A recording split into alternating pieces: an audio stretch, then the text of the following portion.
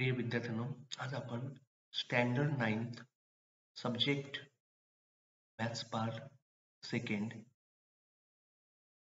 chapter number eight trigonometry या topic मधील video number third आता आपल्या practice set eight point two मधील आय एम पी क्वेश्चन आहेत. आता बघा नंबर फ़र्स्ट याच्यामध्ये काय म्हणते बघा the value of cos twenty five upon sine sixty five आता हे एक्झाम्पल तुम्हाला येण्याकरता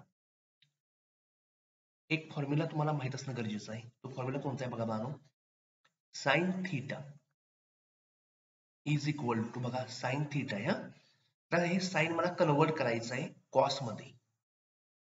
मग कन्वर्ट करताना काय करायचं? हा जो थिटा अँगल आहे हा? तो करायचं तर कॉस घेत असताना पहिला नाईन्टी लिहायचं आणि त्या नाईन्टी मधून हा अँगल सबट्रॅक्ट करायचा. नाईन्टी मायनस थिटा लक्ष द्या मग जर साईन ट्वेंटी कन्वर्ट करायचं कॉस मध्ये काय करायचं? ते ट्वेंटी बस मायनस करायचं. आन्सर काय येईल? कॉस सेव्हन्टी येईल. सर्वांना समजते बानो साईनचं कन्वर्जन कॉस मध्ये करायचं, तुमचं ठीक आहे? बरता सर्वांनी लक्ष व्यवस्थित द्या आणि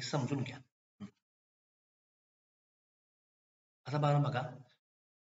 इथं आपले जे अँगल आहेत ते पाहूया पहिल्यांदा.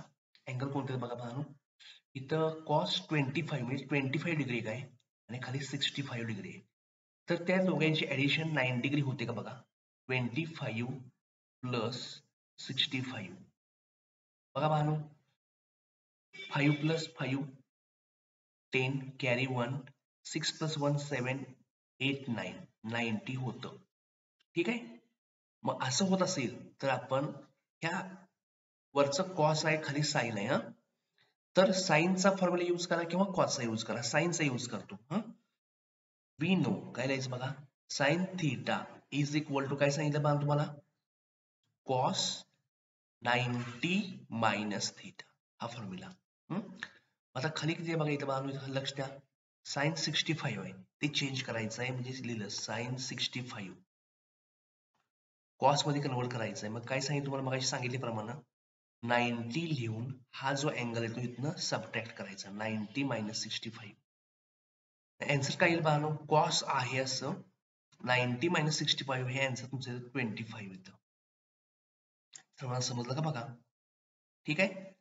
आता काय करायचं?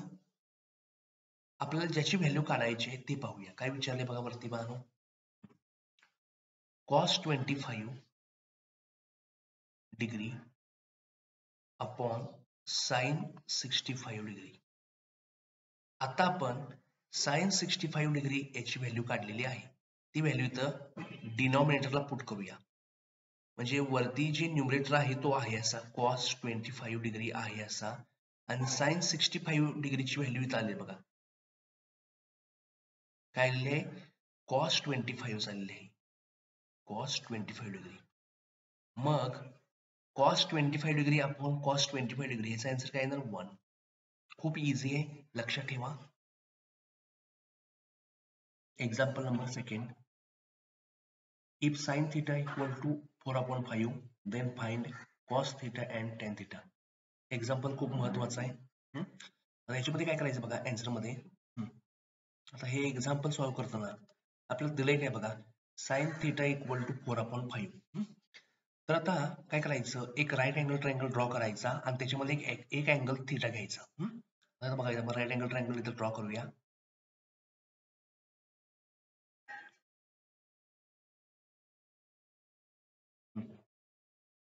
नेम लिहूया इथं ए इकडं बी इकडं सी आता काय बघा. इन ट्रायंगल एबीसी हा ट्रायंगल एबीसी आहे. आणि याच्यामध्ये आपण अँगल बी हा राईट अँगल घेतलेला आहे. लिहिलं लगेच इथं angle B equal to nine degree आता and angle A equal to theta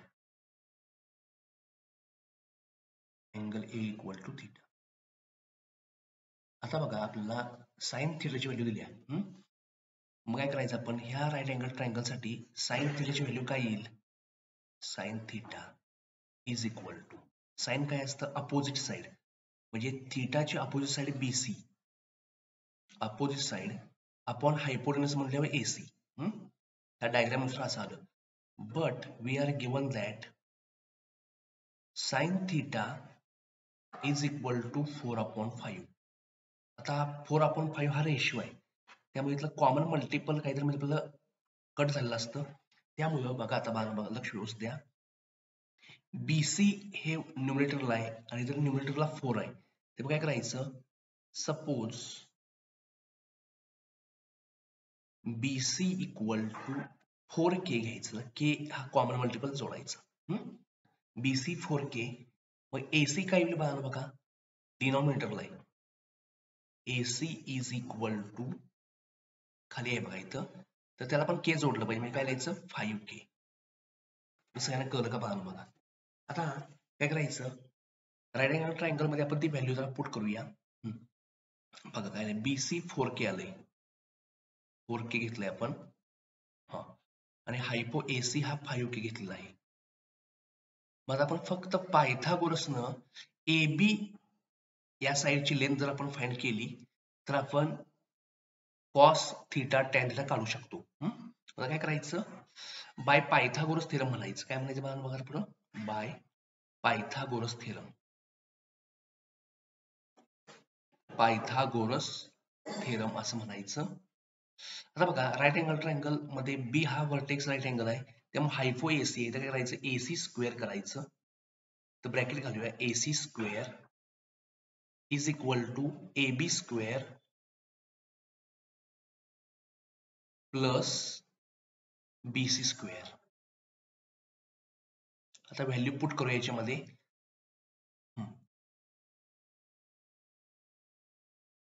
AC square म्हणले मॅम बघा. एसी अर्थ फाईव्ह के ब्रॅकेट स्क्वेअर ब्रॅकेटचा यूज़ करायचा, हा. Is equal to A B square A B आपल्याला व्हॅल्यू काय माहित नाही. त्यामुळे A B square as it is as it is plus B C म्हणल्यावर फोर के bracket square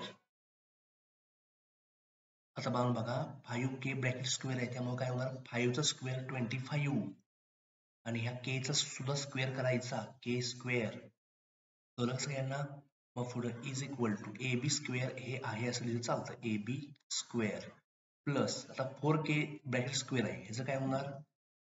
four square sixteen आणि इथं काय लिहायचं? के सिंगल लिहायचं नाही. के स्क्वेअर लिहायचं. ठीक आहे? आता काय करायचं? मला बघा व्यवस्थित लक्ष द्या.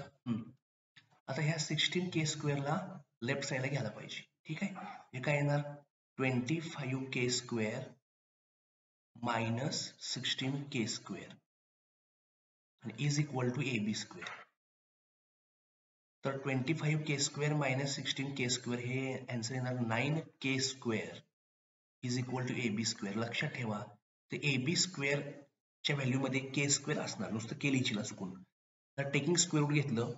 देअर फोर स्क्वेअर रूट काय येणार नाईनचं स्क्वेअर रूट थ्री आणि के स्क्वेअरचं के येणार is equal to A B सर्वांना बघा एवढं कळलं का बघा? Therefore A B equal to three K मिळालेला आहे. आता आपल्याला तीनही साईड मिळालेत बघा बघा. बीसी माहीत आहे. एसी माहीत आहे. आणि ए बी सुद्धा माहीत आहे. आता आपण डायग्रॅम वरून कॉस थिटा टॅन थिटा तर एक काम करूया. कॉस थिटा कॉस थिटा काय असतं? साइड थिटा अँगल साठी ऍडजसन ए बी अपॉन हायफो म्हणजे एसी व्हॅल्यू पुट करूया. ए बी ची व्हॅल्यू थ्री के आहे. एसी ची व्हॅल्यू फाईव्ह के आहे. तर या दोघांमध्ये के के होणार? के आणि के कॅन्सल या के कॅन्सल झाला, राहिले काय? थ्री अपॉन फाईव्ह आता टॅन थिटा काढायचा आहे. टॅन थिटा काय असतं Bano opposite side upon adjacent side theta angle साठी अपोजिट साइड येते बीसी ऍडजसन साइड येते ए बी बीसी ची व्हॅल्यू फोर के आणि ए बी ची व्हॅल्यू थ्री के तर के के काय होणार कट होणार?